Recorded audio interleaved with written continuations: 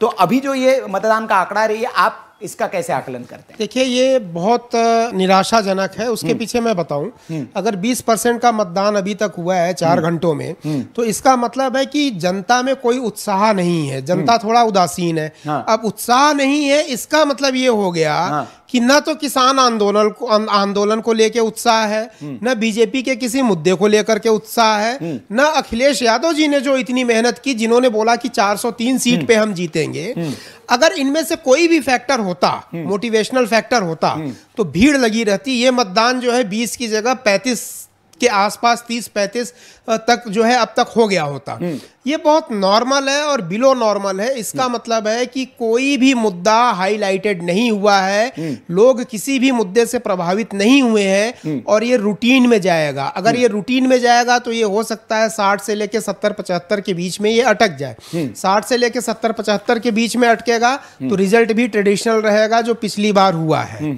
मतलब उन्हीं के फेवर में जाएगा। इसको थोड़ा सा क्योंकि ठंड के दिन है हम ऐसा क्या समझ सकते हैं कि सुबह कोहरा भी था सुबह सुबह की हमने तस्वीरें देखी हमारे पास जो नहीं नहीं देखिए तस्वीर आ रही थी, तो क्या हो सकता है कि लेट से थोड़ा देरी से नहीं नहीं है तो? देखिए मैं हाँ, ये मान सकता हाँ, हूँ कि हाँ। सेकेंड हाफ़ और फ़र्स्ट हाफ़ में चुनाव के प्रतिशत में जो है बहुत बड़ा चेंज होता है।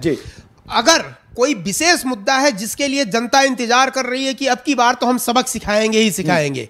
तो वहाँ पे एक घंटे पहले से लाइन लग जाती है क्योंकि उनके अंदर उत्साह होता है सीज़न चाहे कुछ भी हो। देखिए भारत का पॉलिटिकल इन्वायरमेंट और टेम्परामेंट ऐसा है ना कि यहाँ धूप बारिश इन सब चीज़ों का असर नहीं पड़ता है चुनाव में।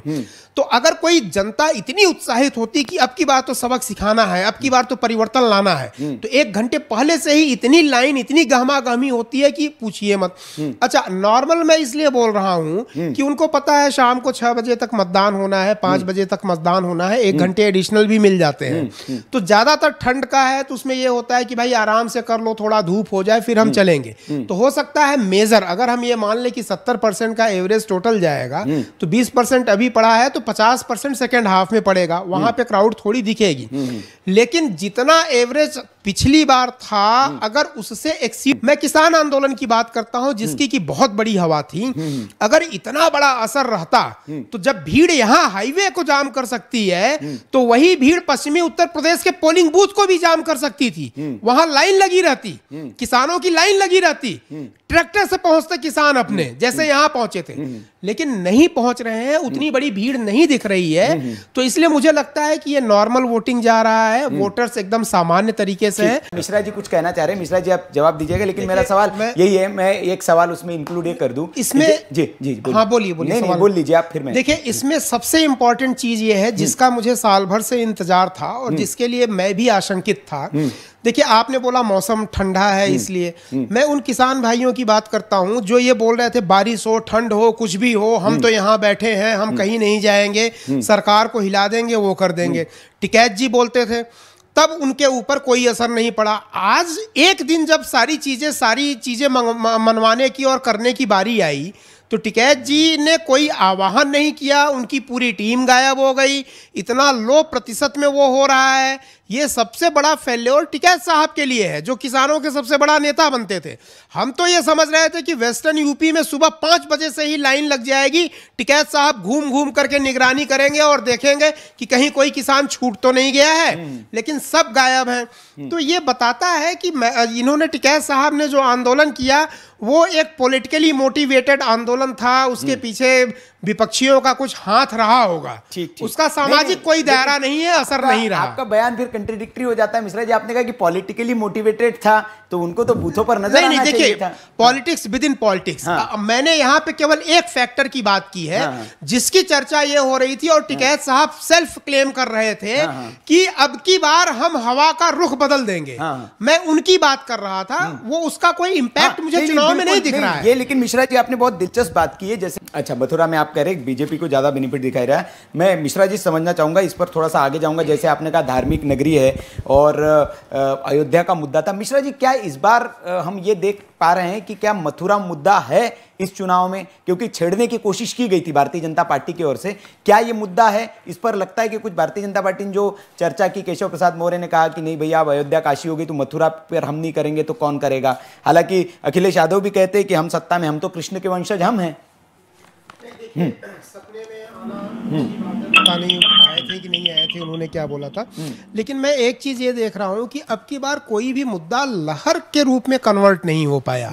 चाहे वो भाजपा का रहा हो चाहे सपा बसपा का जो भी रहा हो जैसे एक तरफा लहर चलती है ना जैसे राम मंदिर का चल च, चला था कि सारे लोग उसी के फेवर में हो गए थे। तो मथुरा के लिए इन्होंने चर्चा की। मुझे ये लगता है कि या तो उतने तरीके से ये एक्टिव वे में उसको कर नहीं पाए कि वो मेन मुद्दा बन जाए या हो सकता है एक चर्चा इनिशिएटिव इसलिए कर दी है कि लोगों के दिमाग में एक सॉफ्ट कॉर्नर या वो मुद्दा जागृत हो जाए और 2024 में उसको हम मेन मुद्दा बना लें। कुछ ना कुछ इम्पैक्ट ज़रूर पड़ेगा चाहे वो पॉइंट वन परसेंट ही स्पेस बना पाए वोटर के दिमाग में। कोई भी मुद्दा यहाँ पे इवन सबसे बड़ा जो मुद्दा था जिसको मैं समझता था सारी दुनिया बोलती थी वो किसान का था। तो वो किसानों का मैंने पहले ही बोल दिया उस मुद्दे का भी असर अभी तक के वोटिंग परसेंटेज से नहीं दिख रहा है। तो मुझे ये लगता है जनता बड़ा ट्रेडिशनल होके सोच रही है। जनता आपकी बार किसी भी नेता या किसी भी पार्टी के मैनिफेस्टो के चक्कर में नहीं पड़ी है। जनता कहीं जा नहीं रही है किसी के पीछे और जनता ने अपना डिसीज़न खुद अपने आप लिया है। अगर जनता किसी से मोटिवेटेड होती है किसी मुद्दे से मोटिवेटेड होती है तो वो क्राउड दिखने लगती है सड़कों पे वो लहर में कन्वर्ट हो जाती है। तो ऐसा कोई लहर वगैरह नहीं है जनता अपने आप से करेगी। बहुत स्कैटर्ड टाइप के थॉट है यहाँ पे और बड़ा गुप्त रहेगा। ये असली रिज़ल्ट तभी आएगा ना कि जनता के मन में क्या है जब बैलेट खुलेंगे। जी। उत्तर प्रदेश में हाँ। अखिलेश यादव जी की जो कारकर्दगी है अगर हाँ। अब मैं उपलब्धियाँ बताने गिनाने लग जाऊँ तो समय पूरा उसी में चला जाएगा। मैं सिर्फ़ आपसे संक्षिप्त में कहना चाहता हूँ। कौन ऐसा व्यक्ति है जो आज़ादी के बाद से या सरकार है जिसकी उपलब्धियाँ कहीं भी पतंगे में भी बराबरी करती हो माननीय अखिलेश यादव जी की उपलब्धियों के बराबर में? जी। ये आपके सामने है और हमारे सामने है जो नजीर है। मैं ये आप कहेंगे कि मैं समाजवादी हूँ इसलिए ये बात कर रहा हूँ लेकिन मैं वास्तविक बात कर रहा हूँ। और उसके साथ साथ कभी किसी का उन्होंने अपमान नहीं किया। कभी कैसी कभी ऐसी भाषा शैली का प्रयोग नहीं किया जो किसी को अखरती हो खटकती हो या गलत हो। ऐसे शब्दों का प्रयोग नहीं किया जो चैलेंज में आज बीजेपी के नेता और लोग कर रहे हैं। जैसे अब हम ये कहें कि प्रधानमंत्री जी हैं सम्मानित हमारे इस देश के हाँ, हाँ। वो इंटरव्यू दे रहे हैं। इस हाँ। वोटिंग के टाइम पर चुनाव के समय पर वोट पड़ रहे हैं हाँ। और उनका इंटरव्यू का क्या उससे संबंध होना चाहिए? क्या ये ऐसा उचित है? हाँ। ठीक है मिश्रा जी कुछ जवाब देना चाह रहे शायद आपको फिर मैं आगे बढ़ते बोली मिश्रा जी। है चूँकि समाजवादी पार्टी के ये नेता या प्रवक्ता होंगे जो मेरे मित्र बोल रहे थे उनकी मजबूरी है। इन्होंने बोला कि ये चुनौती देते हैं कि देश में किसी भी नेता या सरकार ने उतना अच्छा काम नहीं किया जितना अखिलेश यादव ने किया। हाँ इसका ये जानकारी अनुरोध के साथ। हाँ मैं आपके अनुरोध को मैं स्वीकार करता हूँ और बड़े मतलब इज़्ज़त के साथ मैं आपको बताना चाहता हूँ अखिलेश यादव जी की उपलब्धियाँ क्या रही हैं? जिस आदमी ने शिवपाल यादव ने पूरी पार्टी खड़ी की अपने दम पे उनका उन्होंने क्या हाल कर दिया? सबसे बड़ी उपलब्धि। दूसरी सबसे बड़ी उपलब्धि, उनकी वाइफ डिम्पल यादव भी चुनाव लड़ती थी, जो कि भविष्य की बहुत अच्छी महिला नेता हो सकती थी, उनको चूल्हे चौके में लगा दिया। तीसरी सबसे बड़ी उपलब्धि कि अपने पिताजी को मंच से हटा करके उन्होंने अपने पिताजी को मतलब मुगलों की तरह कारावास राजनीतिक कारावास में भेज दिया। सर हमसे गिनिए ना क्या उपलब्धियाँ हैं? भाषा शैली तो उनकी माशा अल्लाह कोई पूछे नहीं। आज़म खान जो उनके जिनके दम पे वो था उनके सपोर्ट में एक शब्द उन्होंने नहीं बोला अपने लोगों का साथ छोड़ दिया। उपलब्धियाँ सर देखिए अपने मुँह से अपने मुँह मियाँ मिट्ठू बनने से उपलब्धियाँ नहीं होती है। जो आपके क्रिटिक्स हैं आप उनसे पूछिए। जो आपके विरोधी हैं अगर वो आपकी तारीफ़ करें तब वो उपलब्धियाँ होती हैं। और अगर मैं गिनवाने लगूँगा ना तो एक हफ़्ते बीत जाएगा कि क्या उपलब्धि रही है समाजवादी पार्टी और अखिलेश यादव मिश्रा साहब तो कुछ उपलब्धियाँ उपलब्धियाँ भी राहुल गांधी की तो- नैया कांग्रेस की नैया डुबो दी बीएसपी में मायावती जी के जाके पैर छुए जिनसे कभी भी समझौते की उम्मीद नहीं थी वो मैं आ रहा हूँ, आपके सिद्दीकी जी। हाँ। थूक चाटने वाली उपलब्धियाँ उनकी है मैं बता रहा हूँ। हम्म, नहीं आप नहीं इसमें जरा विनम्रता से विचार करिए। माफ़ी पहले मांग लेता हूँ मुझे पता है समाजवादी पार्टी वाले फ़ोन कर देंगे अमिताभ सिंह की तरह मुझे। इसलिए मुझे माफ़ कर दीजिएगा। फूक के चाटने की जितनी उपलब्धियाँ हैं वो सब समाजवादी पार्टी में अवेलेबल है। ठीक है ठीक है ठीक है। सिद्दीकी जी बोलिए फिर मैं भारतीय जनता पार्टी से हमारे साथ भानु जी उनके पास जाऊँगा। जी। ऐसा नहीं कहूँगा। मैं तो केवल इतना कहना चाह रहा हूँ जी। कि जो फ्लाईओवर ब्रिज दिखाया था हाँ। फ़ोटो दिखाई थी योगी जी ने कई हाँ। ऐसे प्रचार बात पलट दी। किए और अपना अभी तो बोल रहे थे कि दिन भर उपलब्धियाँ गिनाऊँगा। अब केवल इतने पे आ गए हैं। प्रदेश और देश में नहीं यही कमी है समाजवादी पार्टी में। पूरे विश्व में जिन्हें झूठ बोलने में महारत हासिल है मैं उनके बारे में क्या कहूँ साहब वो तो जनता देख रही है लोगों ने अब तक देखा है अब जनता निर्णय लेने जा रही है। चलिए निर्णय आपके सामने आएगा आप मैदान में टिक नहीं पा रहे हैं। आप तर्कों के मैदान में टिक नहीं पा रहे हैं। मैं ऐसा नहीं कहूँगा कि आप सुखी साथ रहे हैं लेकिन जनता कह रही है जी जी। कि झूठ पे झूठ बोल रहे हैं और झूठ बोलने में महारत हासिल है। और जहाँ शिवपाल जी की बात कर रहे हैं उन्हें शिवपाल जी को उन्होंने वही चुनाव लड़ा है। एक सीट देके कर रहे हैं और अभी एक तरफ़ आप कौन सी पोस्ट दी है उन्होंने मुझे बताइए। करते हैं, दूसरी क्या घोषणा की है शिवपाल के लिए उधर मुख्यमंत्री बनाएँगे उधर कि उप तो मुख्यमंत्री? उधर अच्छा जैसे जैसे औरंगज़ेब की नजीर है आपके अखिलेश यादव। सुनिए तो। औरंगज़ेब की नजीर। क्या है? औरंगज़ेब की नजीर है अखिलेश मैं यादव। फहरिस्त दे दूँगा कि सबसे ज़्यादा परिवारवाद बीजेपी में है। और दूसरी बात झूठ बोल करके दूसरे पर झूठा इल्ज़ाम लगाना भाई इसके लिए कुछ तो अखिलेश सोचिए। अखिलेश तो यादव के कसीदे पढ़िए ना कहाँ तो बीजेपी के कसीदे पढ़ रहे कहना हैं चाहता हूँ, आप अभी बोल तो रहे थे कि मैं नजीर देने लगूँगा तो दिन भर गुजर जाएगा। जरा नजीर दीजिए ना अखिलेश यादव के कामों का। हैं।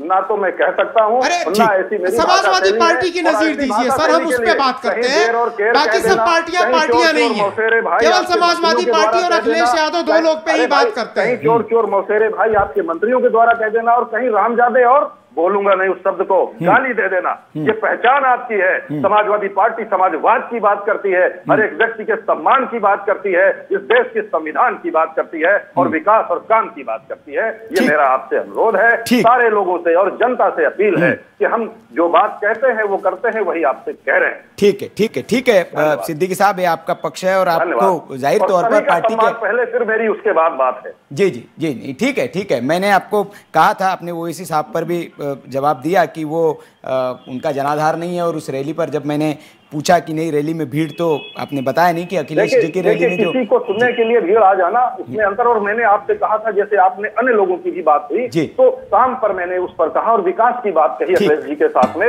दूसरी बात नहीं कही। और किसी का भी मैंने अपमान नहीं किया जो भी बात कही वो सच कही। नहीं नहीं शालीनता के साथ आप बात रख रहे सिद्दीकी जी ये मैं इस बात की आपकी तारीफ़ करूँगा क्योंकि समाजवादी पार्टी के बहुत नेताओं से मैं बात करता हूँ लेकिन मैं कहूँगा कि बड़े शालीनता के साथ और आप संयम के साथ अपनी बात रख रहे हैं। ये तो- बहुत कम तो नेताओं में ऐसा देखने को मिलता है। आज के वक्त में तो नेताओं का ये गुण ही खत्म होते जा रहा है। वो तो आपा खो देते हैं तुरंत डिबेट में।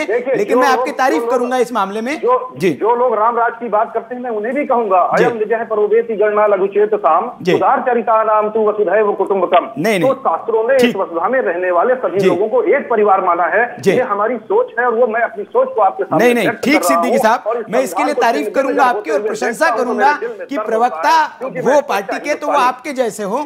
कि शालीनता से अपनी बात रखे। जी जी जी। धन्यवाद। ये बोल रहा हूँ, उद्यमेन ही सिद्धांति कार्याणी न च मनोरथे हाँ। आप कहाँ संस्कृत श्लोक और वेदों की बात कर रहे हैं? वेदों के विरोध में हिंदू धर्म के विरोध में बोलने वाले आपके नेता टोपी जालीदार टोपी पहनने वाले नेता वही हाँ, वाली बात शुरू कर दी। मैं बकुलों के समाजवादी हंस के मध्य में। बकुला हूँ। सुशोभित नहीं होता है। आपकी बातें कुछ और है। आपके सिद्धांत कुछ और है। बात कर रहा हूँ।